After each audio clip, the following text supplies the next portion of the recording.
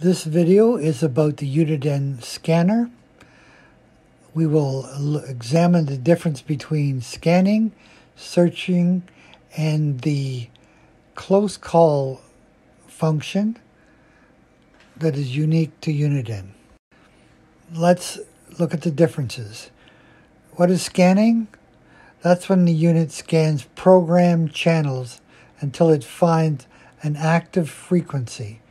What is searching? A search is conducted on active frequencies.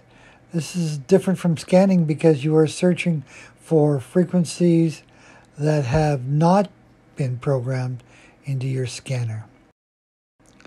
The close call RF capture function is different than normal searching and different than scanning. The close call RF capture lets you set the scanner to detect, then display the frequency of nearby strong radio transmissions, such as mobile and handheld two-way radios in the area when there is no other strong transmission sources.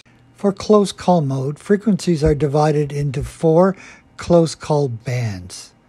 Turn these bands on and off by pressing 1 up to 4 as indicated.